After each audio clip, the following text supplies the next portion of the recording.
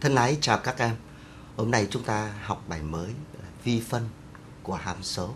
À, bài học trước đó thì à, chúng ta đã nghiên cứu về đạo hàm. Thế thì à, ngày hôm nay chúng ta xem thử giữa vi phân và đạo hàm nó có mối à, liên quan gì với nhau. Thì ở bài học trước thì thầy có giúp cho các em đi tính một số đạo hàm đối với những cái hàm số đặc biệt ví dụ như tính đạo hàm đối với hàm số chứa trị tuyệt đối bằng cách chúng ta đưa cái hàm dấu vào hoặc là chúng ta đi tính đạo hàm của hàm lũy thừa mũ bằng cách chúng ta lấy lốc nebe hai vế. Thế thì hôm nay à, trước khi chúng ta vào bài học mới thầy cũng muốn nhắc lại cho các em một chút về cái cách thức tính đạo hàm. À, đây là cái loại tính mà giống như chúng ta đã tính đạo hàm của hàm lũy thừa mũ mà tuần bài học trước mà thầy cũng đã nói và thầy sẽ giúp cho các em thêm một ví dụ nữa tức là không nhất thiết phải là lũy thừa mũ chúng ta mới lên lốc nebe hai vế. Thế bây giờ chúng ta xem một ví dụ nho nhỏ rồi chúng ta sẽ bước vào bài học mới của ngày hôm nay sau. Thế thì chúng ta xem rõ một chút. À, thầy đề nghị chúng ta đi tính đạo hàm của cái hàm số sau đây. Y bằng x trừ 2 tất cả bình phương nhân cho căn bậc 3 của x cộng 1 tất cả chia cho x trừ 5 lũy thừa 3 với điều kiện x lớn hơn 5. Thế thì chúng ta quan sát cái biểu thức của hàm số của chúng ta thì chúng ta thấy là nó gồm những biểu thức toàn bộ là dấu nhân và chia thôi chứ không có chỗ nào là dấu cộng cả. Do vậy nó, chúng ta có thể tính bằng cách giống như chúng ta đã làm hôm bài học trước đó là các em đi lấy lốc nebe hai vế. Như vậy vế trái chúng ta được lốc nebe của y bằng lốc nebe của vế phải. Rồi sau đó chúng ta sử dụng một số những công thức liên quan đến logarit. Ví dụ chúng ta thấy x trừ 2 tất cả bình phương, thế thì chúng ta tách nó ra được thành gì? Số 2 đưa ra ngoài là 2 log nebe của x trừ 2. Và ở đây là dấu nhân thì ở đây ta tách ra được thành dấu cộng đúng chưa nào? Còn ở đây căn bậc 3 thì nó là x cộng 1 tất cả lũy thừa 3 thì cái 1 phần 3 một x cộng 1 tất cả lũy thừa 1 phần 3 thì cái 1 phần 3 đó các em đưa ra ngoài được thì nó ra được là 1 phần 3 log nebe của x cộng 1. Thế ở đây là dấu chia. Chia thì ta tách ra thành dấu trừ theo công thức về log. Thì số 3 đưa ra các em được 3 log nebe của x trừ 5. À, như vậy thì chúng ta thấy rằng cái việc lấy đạo hàm hai vế của vế phải nó không còn khó nữa. À, chúng ta lấy đạo hàm cho thấy nhé. Như vậy thì đạo hàm của vế trái của chúng ta được gì? log nebe của y đạo hàm bằng y phẩy chia cho y. Rồi đạo hàm của hai, lốc nebe x trừ 2 thì ta áp dụng công thức lốc nebe của u bằng u phẩy chia u thì thì ta được số 2 là hằng số ở đây thầy viết lại chia cho x trừ 2. Một cách tương tự cộng cho đạo hàm của 1 phần 3 log nebe x cộng 1 sẽ được 1 chia cho số 3 này nằm dưới mẫu ta có 3 nhân cho x cộng 1 một cách tương tự như thế, chúng ta lấy đạo hàm của 3 log nebe x trừ 5 thì các em sẽ ra được 3 chia cho x trừ 5. Thế bây giờ như vậy thì từ đây ta suy ra được điều gì? Ta có được y phép bằng thứ nhất là cả cái cụm này ta đưa nó xuống đây thôi. Rồi nhân cho y y của chúng ta điều thức này là ta viết lại ở đây và đây chính là đáp số của bài toán. Thế thì à, chúng ta vừa mới chấm dứt cái ví dụ này, thầy muốn nhắc lại cho các em về cái cách thức tính đạo hàm đối với lại hàm số lũy thừa mũ như thế nào. Thì qua đến những cái hàm, đặc điểm của nó gồm có tích và thương của các cái biểu thức thì các em cũng lên lớp hai vế. Rồi sau đó chúng ta lấy đạo hàm thì lúc đó nó thuận lợi hơn.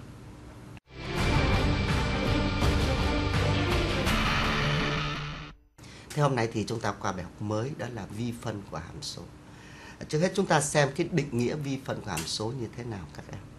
Thế thì bây giờ người ta cho chúng ta như sau, cho hàm số f được xác định trên cái khoảng ab thế thì cái hàm số f này được gọi là khả vi tại một cái điểm x0 nào đó thuộc vào cái khoảng ab nếu ta có được cái hệ thức sau đây, đó là delta y bằng fx trừ fx0 bằng a nhân delta x cộng alpha nhân delta x. Thế thì ở đây, cái delta y thì chúng ta thấy quá rõ, nó là hiệu số của fx trừ fx0 và nó có tên gọi là số ra của hàm số tại điểm x0 số ra của hàm số tại điểm x0 nhé. Rồi còn cái delta x này nó là gì? Nó là số ra của biến số đối với hàm số f tại điểm x0. Delta x là số ra của biến số tại x0. Vậy thì cái chữ A lớn và can fan này nó là cái gì? Thì chúng ta nhớ cho thầy. Cái A lớn này nó là một cái hằng số, nó không phụ thuộc gì vào cái delta x của chúng ta cả. Và còn cái alpha này của chúng ta nó là một cái số vô cùng bé. Đó là một cái biểu thức vô cùng bé khi delta x của chúng ta tiến về không. Nghĩa là alpha là vô cùng bé khi delta x tới không do đó mà giới hạn của alpha khi delta x dần về không nó phải bằng không. À, thì đây người ta gọi là sự khả vi của hàm số tại điểm x0. Thế thì ngay từ cái ừ, đầu tiết của ngày hôm nay thì thầy có nhấn mạnh với lại các em là như vậy thì chúng ta có cái mối liên quan gì giữa cái khả vi và cái đạo hàm của hàm số. Thế thì bây giờ chúng ta muốn biết được cái mối quan hệ đó thì chúng ta xem một cái định lý như sau. À, định lý này nó là cái điều đó là cái điều kiện cần và đủ của chúng ta theo dõi ở đây. Tức là mọi cái hàm số mà khả vi tại điểm x0 thì nó cũng có đạo hàm tại cái điểm đó. Và đây là điều kiện cần và đủ. À, như vậy thì để chứng minh cái định lý này thì chúng ta phải chứng minh hai chiều. À, trước hết ta giả sử rằng hàm số f của chúng ta khả vi tại điểm x0. Vậy thì vấn đề của chúng ta bây giờ là phải đi chứng minh f của chúng ta sẽ phải có đạo hàm tại x0. À, ờ, trước hết thì theo chúng ta giả sử ban đầu thì do f khả vi tại điểm x0 cho nên các em phải có cái delta y phải bằng a nhân delta x cộng alpha nhân delta x. Ở đây xin nhắc, nhắc lại delta y là số ra của hàm số tại x0 tại điểm x0 này. Còn delta x là số ra của biến số tại x0. A của chúng ta không phụ thuộc vào delta x và alpha là một số vô cùng bé khi delta x dần đến không. À, như vậy thì ở đây để chứng tỏ f cũng phải có đạo hàm tại x0 thì chúng ta phải đi xét cái giới hạn của tỷ số delta y chia cho delta x khi delta x dần về không. Nếu cái giới hạn này tồn tại, hữu hạn thì ta kết luận rằng hàm số f của chúng ta có đạo hàm tại x0. Vậy thì ta đi tìm giới hạn này như sau.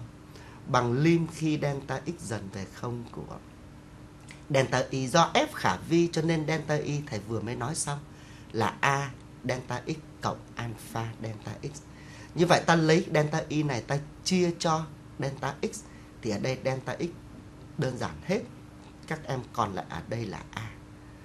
Và ở đây tương tự, delta x cũng đơn giản luôn. Chúng ta còn lại ở đây là cộng cho alpha. Do f khả vi cho nên cái a này của chúng ta không phụ thuộc vào delta x. Do vậy khi delta x dần đến không thì a vẫn là a. Còn đối với lại alpha của chúng ta là một số vô cùng bé khi delta x dần đến không. Do vậy, khi delta x dần đến không thì alpha này của chúng ta cũng tiến về không. Do vậy, cái giới hạn a cộng alpha khi delta x dần đến không, nó bằng a. Mà a của chúng ta là cái số hữu hạn mà giới hạn của delta y chia delta x khi delta x dần đến không bằng a. Do vậy mà ta kết luận được rằng hàm số f của chúng ta có đạo hàm tại x0 bởi vì giới hạn này của chúng ta tồn tại hữu hạn. Mà không những thế ta còn biết hơn được điều đó nữa, đó là đạo hàm tại x0 nó còn bằng a. Nó tồn tại và nó bằng luôn cả cái a. À như vậy thì nếu f khả vi tại điểm x0 thì các em lưu ý a của chúng ta, cái a lớn này của chúng ta nó chính là đạo hàm của f tại x0.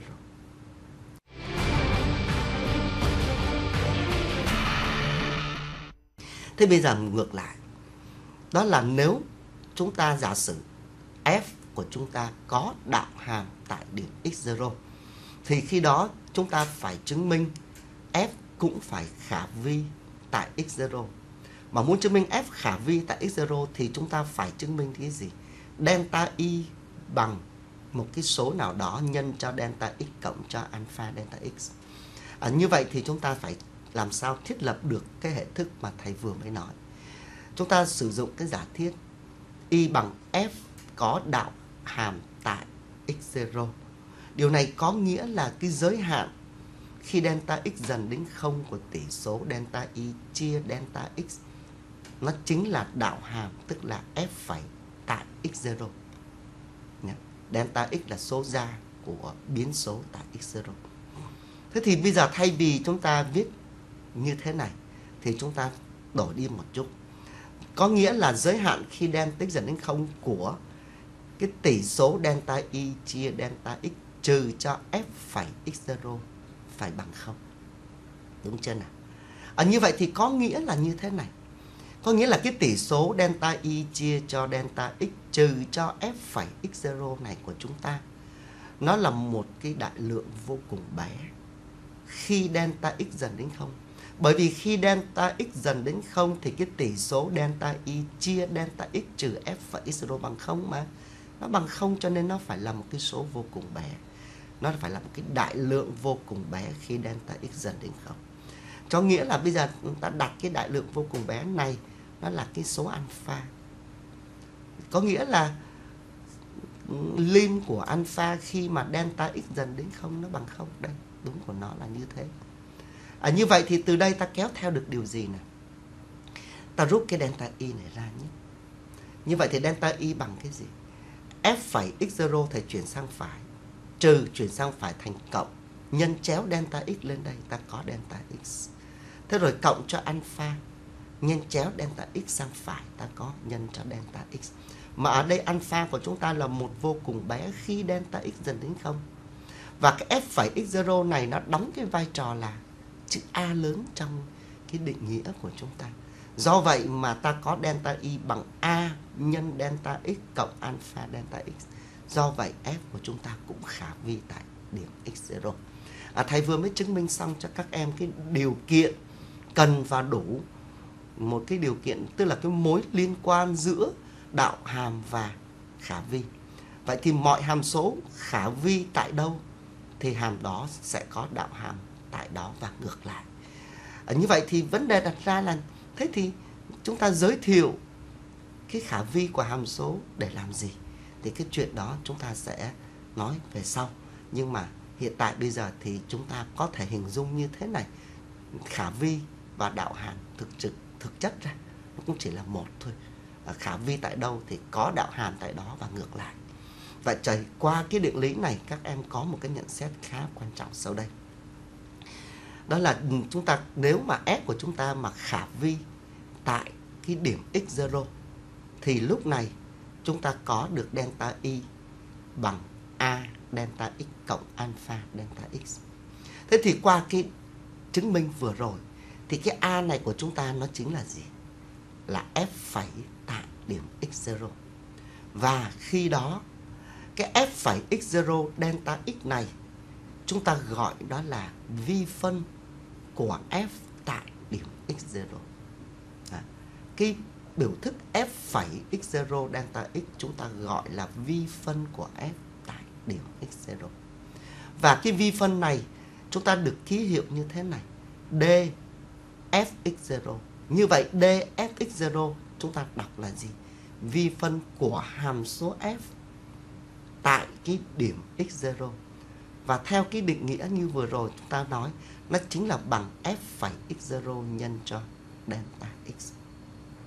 Như vậy thì chúng ta lại xem tiếp một cái chuyện nho nhỏ nữa thôi. Tức là nếu mà hàm số f x0 của chúng ta, hàm f của chúng ta đó, nó là bằng x nó là cái biến số độc lập x nó chỉ là x thôi thì theo cái định nghĩa vi phân vừa rồi chúng ta thấy như bằng cái gì đạo hàm của x f phẩy x tức là đạo hàm của x bằng mấy nhỉ bằng một delta x ở đây ta viết lại vậy thì nếu mà x của chúng ta là biến số độc lập thì delta x nó sẽ bằng delta dx nó sẽ bằng delta x luôn tức là vi phân của x nó cũng chính là cái số ra của biến số và do đó mà trong cái trường hợp đó ta thay luôn cái delta x này nó là dx luôn. À, như vậy thì d của f tại x0 nó sẽ bằng f phẩy tại điểm x0 nhân cho dx. Đó là cái nhận xét để chúng ta đẩy đến cái khái niệm gọi là vi phân của hàm số tại một điểm. Thế thì để tính toán vi phân thì chúng ta có một số những cái tính chất rất cơ bản của vi phân như sau. Chúng ta có 6 cái cái tính chất nhỏ nhỏ. Nó cũng tựa tựa như là chúng ta việc chúng ta đi lấy đạo hàm thôi. Đó là như thế này. À, vi phân của một cái hằng số tức là hàm f của chúng ta bây giờ đã là hàm hàm thì nó sẽ bằng không. Rồi bây giờ ừ, d, c của chúng ta là hằng số, u của chúng ta là một cái hàm số theo biến x nào đó, thì nó sẽ bằng c nhân cho vi phân của u. Bây giờ, d của u cộng trừ v là giống như quy tắc tính đạo hàm, nó sẽ bằng du cộng hoặc trừ dv thế rồi d của u nhân v ta áp dụng gần giống như công thức đạo hàm sẽ bằng VDU cộng cho UDV.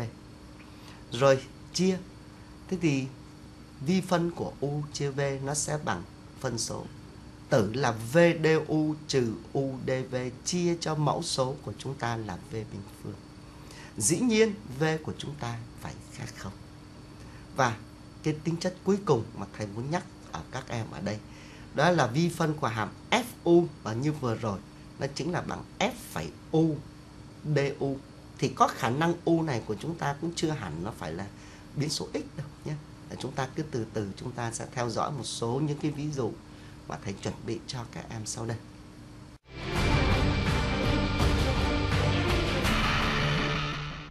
Chẳng hạn như đi tìm vi phân của hàm số y bằng x nhân cho e mũ x. À, như vậy thì vi phân của y là gì? Di còn vi phân của x ơ mua x nó là f phẩy x nhân cho dx. Tức là đạo hàm của x nhân ơ mũ x nhân cho dx. Và cái việc ta lấy đạo hàm của x nhân ơ mũ x không khó. Chúng ta sẽ sử dụng quy tắc u nhân v đạo hàm u nhân v bằng u phẩy v cộng v phẩy u. À, như vậy thì chúng ta lấy đạo hàm bình thường. Đạo hàm của u phết tức là đạo hàm của x bằng 1 nhân v tức là ơ mũ x. Cộng cho v phẩy tức là đạo hàm ơ mũ x bằng chính nó nhân cho u là x. Và đến đây thì chúng ta chỉ cần làm gọn các số của chúng ta lại bằng cách chúng ta đưa ơ mũ x ra ngoài. Làm thừa số chung thì ở đây chúng ta còn lại là một cộng x và đây là đáp số của bài toán. Để đi tính vi phân của cái hàm này khá đơn giản. Vậy thì ta xem tiếp một ví dụ nữa, chẳng hạn thầy cho như thế này. Tìm vi phân của hàm số y bằng ạc tang của u chia v. Thì cũng giống như thế thôi. Chúng ta giải quyết bài này nhanh thôi. Như vậy thì nó sẽ bằng đạo hàm của ạc tang u chia v nhân cho vi phân của hàm u chia v. Theo đúng cái cái, cái tính chất thứ sáu đó các em. Tức là D của FU sẽ bằng F phẩy U DU. Ở trong tình huống bài toán này, U của chúng ta đóng vai trò là U chia V. Đó, thì nó là, là FU nhân DU. U là U chia V đó. Thì bây giờ chúng ta sẽ đi lấy đạo hàm của ạc tang U trên V theo biến U chia V, theo biến U chia V. Như vậy thì nó sẽ ra được công thức là một chia cho một cộng cho u chia v tất cả bình phương theo biến u chia v mà. Rồi vậy thì ta lại tiếp tục lấy vi phân của u chia v. Thì vừa rồi chúng ta biết bằng v du trừ cho u dv chia cho v bình phương. Và bây giờ thì chúng ta chỉ còn rút gọn lại. Thế tử số của chúng ta bây giờ là gì? V du trừ cho uv udv còn mẫu số thì ta rút gọn lại cái v bình phương ta nhân vào. Thì cái v bình phương này nhân chéo lên rồi quy đồng lại thì mẫu số rút gọn chúng ta còn lại là u bình phương cộng v bình phương và đây là đáp số của bài toán của chúng ta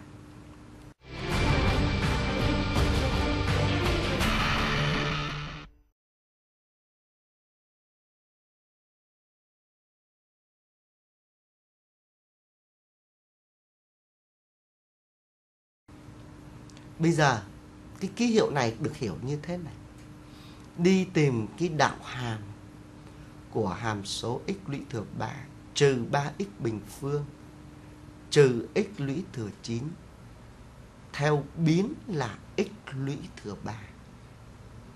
Biến ở đây không có phải là x mà biến của nó là x lũy thừa 3. À, như vậy thì để đi tìm đạo hàm này chúng ta có hai cái cách sau đây. À, cách thứ nhất, thầy sẽ đưa tất cả các cái biến của cái hàm chúng ta theo cái biến mà chúng ta cần lấy đạo hàm, đó là theo biến x lũy thừa 3. Bằng cách chúng ta sẽ tính như sau.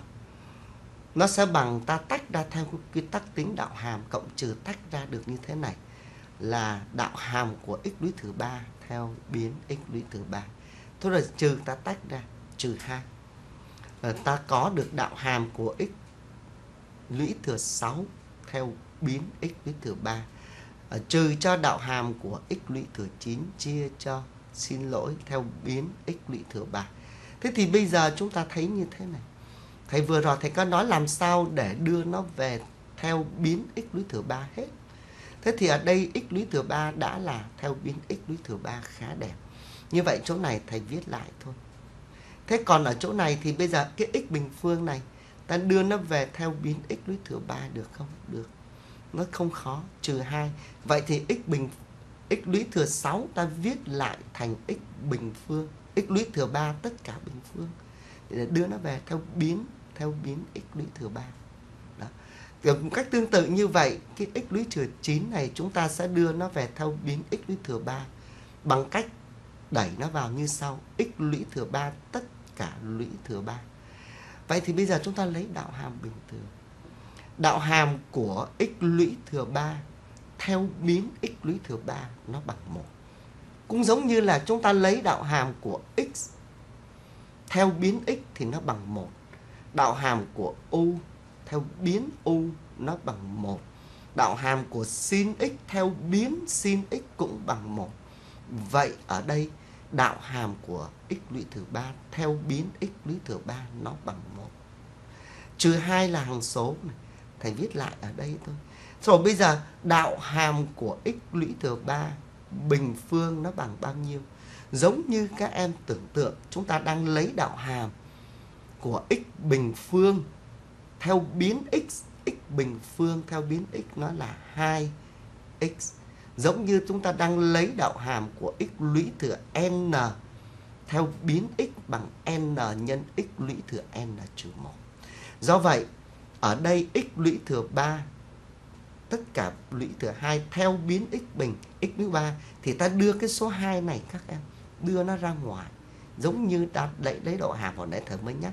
Vậy ở trong này còn lại x lũy thừa 3 tất cả lũy thừa 2 trừ 1 tức là lũy thừa một như vậy trong này còn chỉ còn lại x lũy thừa ba thôi một cách tương tự như vậy dấu trừ ở đây cũng thế ta đưa số 3 này ra thì ở đây được là 3. Trong này còn lại x lũy thừa 3. Tất cả bình phương. Số 2 này ở đâu có? Nó do số 3 trừ đi 1 còn lại 2. À, như vậy thì chúng ta đã làm xong được bài toán này. Bây giờ thì chúng ta chỉ còn rút gọn cái đáp số lại nữa thì ra được kết quả. Đã được là 1, 2 nhân 2 là 4 là dễ. Ha? Trừ cho x lũy thừa 3 bình phương lên nữa là x lũy thừa 6. Đây là kết quả của bài toán chúng ta. Thế thì bây giờ chúng ta xem tiếp thêm một cái cách số 2 nó đơn giản hơn cái cách một một chút. Chúng ta áp dụng cái cái cách thức tính đạo hàm theo những cái biến khác không phải là biến x như thế này. Và chúng ta theo dõi cái cách số 2 bằng cách là nó sẽ bằng cái đạo hàm của x lũy thừa 3 trừ 2x bình, trừ x lũy thừa 9 theo biến x, theo biến x. Rồi chia cho, chúng ta lấy đạo hàm của x lũy thừa 3 cũng theo biến x. Lấy theo biến x có nghĩa là trên tử phải là dx ta lấy theo biến x. Và lúc này thì rất thành thơi, giống như là chương trình phổ thông chúng ta có đạo hàm của x lũy thừa 3 là 3x bình phương ta có đạo hàm của trừ 2x lũy thừa 6 là trừ 12x lũy thừa 5 và đạo hàm của x lũy thừa 9 là trừ 9x lũy thừa 8 đạo hàm của x lũy thừa 3 theo biến x là dx đấy, là 3x bình phương. Và lúc này thì các em chỉ còn rút gọn lại. 3x bình phương chia cho 3x bình phương còn lại 1. Trừ 12x lũy thừa 5 chia cho 3x bình phương chúng ta còn trừ 4x lũy thừa 3. Trừ 9x lũy thừa 8 chia 3x lũy thừa 2, 9 chia 3 còn lại là 3. 8, 2 còn lại 6. Đây là đáp số của bài toán. À, như vậy thì à, qua ba cái ví dụ thầy giúp cho các em cái cách ừ, thức tính vi phân của một cái hàm số và chúng ta phải nhớ cái vi phân nó hay hơn cái đạo hàm ở cái chỗ này. Đó là khi mà đạo hàm nó chỉ được thể hiện ở cái dấu phẩy. Mà nhiều khi cái dấu phẩy đó chúng ta không hiểu rằng chúng ta đang lấy đạo hàm theo biến là gì. Còn vi phân nó hay hơn ở cái chỗ là chúng ta biết rằng chúng ta lấy đạo hàm của hàm đó với cái biến là gì để qua đó chúng ta lấy theo đúng.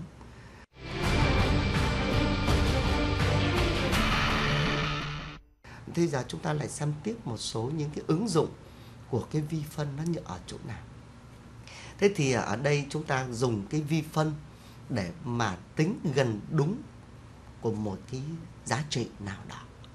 Thế bây giờ chúng ta nhắc lại một chút về cái khả vi, tính chất khả vi của hàm số thế thì ở đây chúng ta thấy này, cái f x0 cộng delta x trừ f x0 bằng f phẩy x0 nhân delta x cộng cho alpha delta x đây là sự khả vi của hàm số và ta biết rằng cái f phải x0 delta x này nó là vi phân của hàm số đấy thế bây giờ cái alpha này các em chú ý cái alpha này nó sẽ càng bé khi delta x của chúng ta tiến đến không. Mà delta x tiến không đương nhiên thì delta x cũng càng bé. Như vậy nếu mà cái delta x này của chúng ta có cái trị tuyệt đối càng bé, bé vô cùng thì cái alpha này của chúng ta cũng sẽ càng bé. Mà alpha càng bé, delta x cũng càng bé luôn thì khi đó cái alpha delta x nó là càng bé nữa. Nó càng bé nữa khi cái delta x của của chúng ta nó nó dần đến không. Như vậy thì khi delta x của chúng ta càng nhỏ bao nhiêu thì cái alpha delta x này của chúng ta giống như là nó gần như thể là nó bằng không. Mà gần như thể nó bằng không thì lúc đó chúng ta có quyền bỏ nó đi được. Thì lúc này chúng ta sẽ xem được cái fx0 cộng delta x trừ fx0 giống như giống như nó gần bằng nó gần bằng cái vi phân f phải x0 delta x. Như vậy khi delta x của chúng ta dần về không, tiến về không, gần gần đụng tới số 0 thì cái delta y của chúng ta tức là cái fx0 cộng delta x trừ fx0 nó gần bằng f phải x0 delta x. Đấy, chúng ta nhớ như vậy. Và khi đó thì chúng ta sẽ diễn tả như sau. fx0 cộng delta x thường chúng ta hay chuyển trừ fx0 sang phải để cho đẹp. Như vậy thì f của x0 cộng delta x sẽ gần bằng trừ chuyển sang thành cộng fx0. f phải x0 delta x chúng ta biết là. Và đây chính là cái công thức cho phép ta đi tính gần đúng của một cái giá trị fx0 cộng delta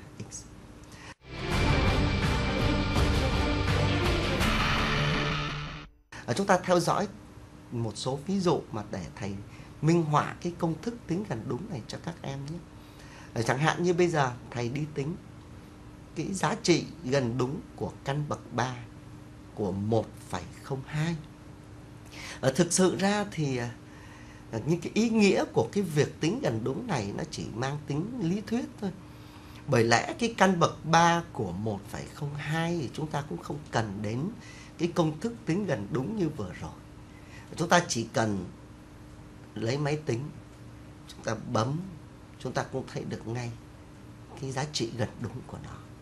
Nhưng mà ở đây thầy muốn minh họa về mặt lý thuyết để chúng ta thấy được cái cách thức để đi tìm cái giá trị gần đúng của một cái biểu thức cho lẻ như trên trên cái màn hình mà chúng ta thấy đó. Thế thì bây giờ như thế này. À, trước hết thì chúng ta thấy cái à, cái căn bậc 3 như vậy thì liên tưởng cho ta xét một cái hàm số nào liên quan đến cái điều mà chúng ta cần tính. À, thầy ví dụ như thầy xem cái hàm số sau đây, nó là cái căn bậc 3 của x. Thế thì rõ ràng cái hàm số f của chúng ta bằng căn bậc 3 của x nó là cái hàm ừ, khả vi trên r luôn thấy không à, như vậy thì ta sẽ xem thử coi ta tính cái gần đúng này như thế nào nhé thế thì ở đây ta phân tích cái căn bậc 3 của 1 phép 02 làm sao theo cái dạng là x0 cộng cho cái delta x của chúng ta đó. À, như vậy thì ta tách như thế này. Nó bằng căn bậc 3. Cái phần dư đằng sau ta xem như nó là cái delta x. Như vậy cái phần chính của nó là số 1. Rồi cộng cho cái 0,02. Thì chúng ta cứ tưởng tượng cái 0,02 là tương đối bé đấy. Thì cái 0,02 này nó đóng cái vai trò là cái delta trong cái công thức tính gần đúng của chúng ta vừa rồi. Do đó mà nó sẽ bằng như sau. Do f của chúng ta nó là căn bậc 3 của x cho nên căn bậc 3 của 1 cộng cho 0,02 ta viết lại nó bằng f của 1 cộng cho delta x. Và theo cái công thức tính gần đúng mà vừa rồi chúng ta mới làm đó thì nó sẽ gần bằng f phẩy f1 này, f0 chuyển qua đó, rồi cộng cho f phẩy 1 delta x. À, như vậy để tính cái giá trị gần đúng này, chúng ta chỉ còn tính những thứ sau đây. F1 và f1 Còn delta x này nó đóng vai trò là 0,02 rồi. Nhé. Vậy thì bây giờ tính thôi. Với F1 bằng cách ta thay x bằng 1 vào F. Fx của chúng ta là căn bậc 3 của x, thì căn bậc 3 của 1 nó bằng 1. Được chưa nào? Rồi muốn tính à, f phẩy 1 thì trước hết chúng ta phải đi tính f phẩy. Thế thì f phẩy x chúng ta tính bằng cách ta phá căn bậc 3 đi. Ra được x lũy thừa 1 phần 3 thì nó sẽ ra được đạo hàm bằng 1 phần 3 nhân x lũy thừa 1 phần 3 trừ 1. Rút gọn đưa lại vào căn được 1 chia cho căn bậc 3 của x bình phương ở đằng trước sau, có số 3 nữa. Vậy thì ta suy ra được cái f phẩy 1 của chúng ta thay 1 vào f phẩy thì chỗ này ra được 1 phần 3 thôi. Và thay nhé. F1 bằng 1 này. Rồi F phẩy 1 của chúng ta bằng 1 phần 3. Còn delta x của chúng ta thì ra được là 0,02. Thay tất cả những cái giá trị này vào thì chúng ta sẽ thu được nó sẽ gần bằng 1,0066. Ở đây là cái giá trị gần đúng của cái con số căn bậc 3 của 1,02.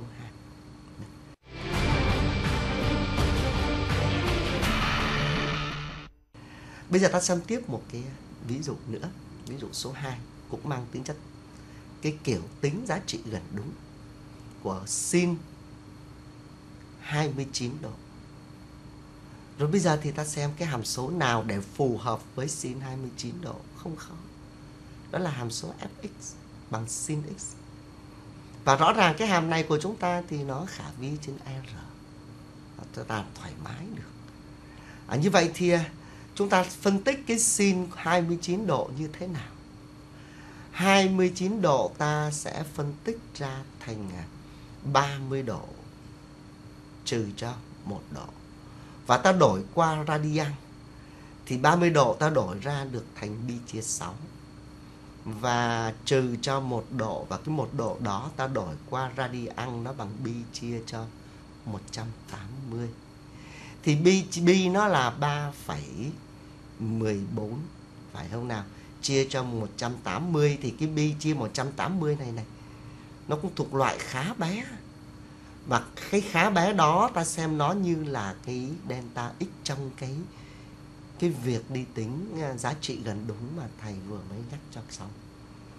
À, như vậy thì ở đây với fx là sin x thì ở đây sin của bi chia 6 với delta x là trừ bi chia 180 thì chúng ta viết lại là f của bi trên 6 cộng cho delta x. Theo công thức tính gần đúng thì nó sẽ gần bằng f của bi trên 6 cộng cho f phẩy tại bi trên 6 delta x. Do vậy muốn tính cái số này thì bây giờ chúng ta phải đi tính các cái giá trị sau đây. f của bi trên 6 f phẩy tại bi trên 6. Còn delta x thì có rồi, đó là trừ bi chia 180. Vậy thì ta tính. Ta có f bi trên 6 bằng bao nhiêu? Thay bi trên 6 vào f.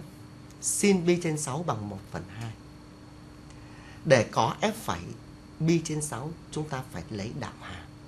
Đạo hàm của sin x bằng cos x.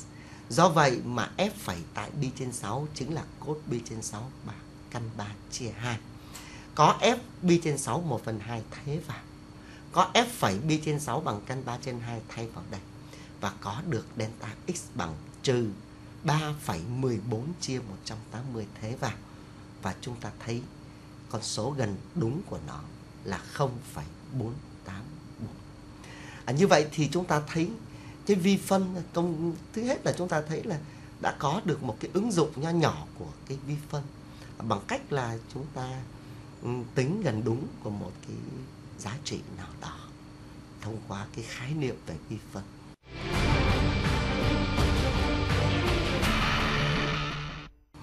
Thế bây giờ ta xem thêm một số những cái ứng dụng nữa liên quan đến cái khái niệm đạo hàm và vi phân. À, thầy sẽ giới thiệu cho các em cái công thức à, tính đạo hàm của u nhân v tất cả đi đạo hàm cấp n của cái hàm u nhân v bằng cái công thức gọi là công thức Leibniz. À, chúng ta xem cái công thức đó như thế nào các em. À, đó là cái công thức này cho phép ta đi tính đạo hàm đến cấp n của cái hàm u nhân v. Dĩ nhiên UV của chúng ta phải khả vi n lần, tức là phải đó có đạo hàm đến cấp n. Thế thì ở đây ta áp dụng cái công thức Leibniz như sau, nó là sigma y đi từ 0 đến n của C, C là tổ hợp đi từ n đến y với y di chuyển từ 0 đến n đó. Đạo hàm cấp y của u nhân cho đạo hàm cấp n trừ y của v. Và cái công thức này nó gợi ý cho chúng ta giống giống như cái cách chúng ta khai triển cái nhị thức Newton, U cộng V tất cả lũy thừa N đó. Thế thì ở đây là cái công thức cho phép chúng ta tính đến đạo hàm cấp N của cái hàm U nhân V. À, thế bây giờ thì chúng ta theo dõi một cái ví dụ liên quan đến cái công thức Leibniz này như thế nào. À, chẳng hạn bây giờ thầy cho cái hàm y bằng x bình phương nhân ơ mũ 2x. À, ờ, đề bài yêu cầu tính đạo hàm cấp 20 của y. Thế thì chúng ta theo dõi một chút thôi. Thế thì ở đây nó sẽ được là sigma y đi từ 0 đến 20 của C20 y. Đạo hàm cấp y của x bình phương nhân đạo hàm cấp 20 trừ y của ơ mũ 2x. Thế bây giờ như vậy thì để tính thì chúng ta phải đi tính đạo hàm cấp y của x bình phương. Chúng ta tính như sau nhất. Đạo hàm cấp 0 tức là chẳng lấy đạo hàm gì cả thì nó ra được chính nó là x bình. Ở đạo hàm cấp 1 của x bình phương dễ 2x. Rồi đạo hàm cấp 2 của 2 của x bình tức là lấy đạo hàm của 2x thì bằng 2 rồi lấy đạo hàm cấp 3 thì lấy đạo hàm của 2 nó ra được mấy là không. Bây giờ lấy đạo hàm cấp 4, đạo hàm của 0 thì đương nhiên cũng bằng 0. À như vậy thì chúng ta thấy rằng với y bằng 3 thì nó đã bằng 0 rồi. Như vậy thay vì chúng ta phải lên tới 20 thì thôi ở đây ta dừng lại ở đến số 2 thôi. Bởi vì từ 3 trở đi thì cái, cái đạo hàm của x bình của nó nó bằng không rồi. Cho nên không cần phải phải tiến đến số 3 chi nữa. Và lúc này thì chúng ta lại tiếp tục đi tính cái đạo hàm của ơ mũ 2x. Thế thì ở đây chúng ta sẽ tính được đạo hàm cấp 1 của ơ mũ 2x bằng mấy? 2 ơ mũ 2x. Đạo hàm cấp 2 lấy thêm một lần nữa bằng 2 lũy thừa 2 ơ mũ 2x. Và vân vân theo nguyên tắc quy nạp chúng ta có được ngay không khó. Nó chính bằng 2 lũy thừa n là ơ mũ 2x. Như vậy chúng ta lắp vào trong công thức thì chúng ta có được y bằng 0 tức là C20 chập 0. Mà x bình phương mà đạo hàm cấp 0 thì là chính nó. Còn ở đây thì không vào đây thì được là đạo hàm cấp 20 thì ta thế vào công thức này thì ta có được hai lũy từ 20 nhân ơ mũ x. Ta tiến tiếp tới y bằng 1 thì ở đây được C20 chập 1. Tương tự, ta thế vào đây được 2x nhân cho 2 lý thừa 19 nhân ơ mũ 2x rồi tiếp với y bằng 2 thì ta được là 20 chập 2 nó bằng đây, bằng 2 đây các em còn ở đây ta áp dụng công thức này thì ta có được điều này. Và ta tính cái này thì không khó. Mấy cái số này ta rút gọn lại, ta làm nhanh ở chỗ này nó bằng 1 này, cái này bằng 20 còn này bằng 190 và rút gọn lại thì chúng ta có được cái đáp số như trên màn hình của chúng ta à, như vậy thì bài học của chúng ta đến đây thì tạm dừng ở đây. À, thầy hẹn gặp lại các em trong bài học tiếp theo. Thân ái.